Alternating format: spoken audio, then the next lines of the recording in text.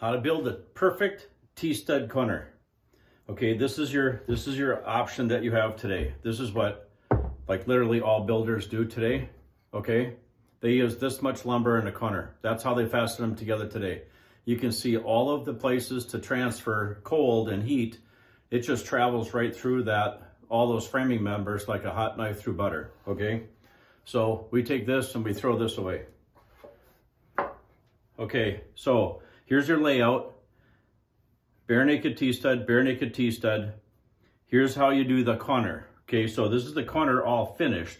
And then I'm gonna take it apart for you, right? So run your studs this way, run the studs that way.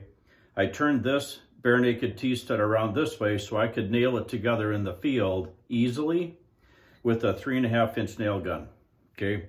When you, this is your nailer for your drywall, you're gonna have a little harder time doing this because your three and a half inch nail gun won't quite reach it, nor can you get in behind in order to get it.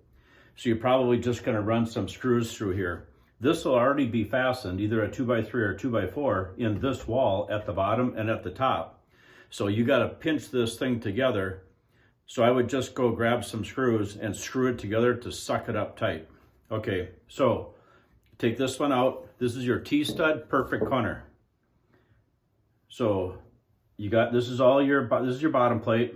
Obviously, I got to take out my crayons today. I'm gonna take this stud out, take this stud away, and here's what you have left. This is your wood, and this is your thermal break running all the way through it. The only thing you got in here is a couple of dowels. So in that wall assembly over there, you had 15 lineal inches 16 lineal inches of transfer for places for heat and cold to transfer all the way through. You only have the dowels here and they're insulated.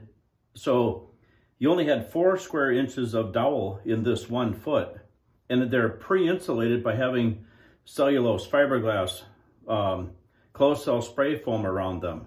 But look at all the places that you have in order to keep that whole entire corner energy efficient. And when you want to try to beat go from 24% BTU reduction to 50% to 75% reduction.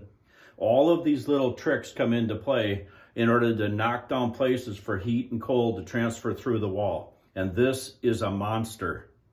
This, this is 300% more energy efficient than that over there. It's a big number. This is how you build the T-Stud Perfect Corner. Thanks for listening.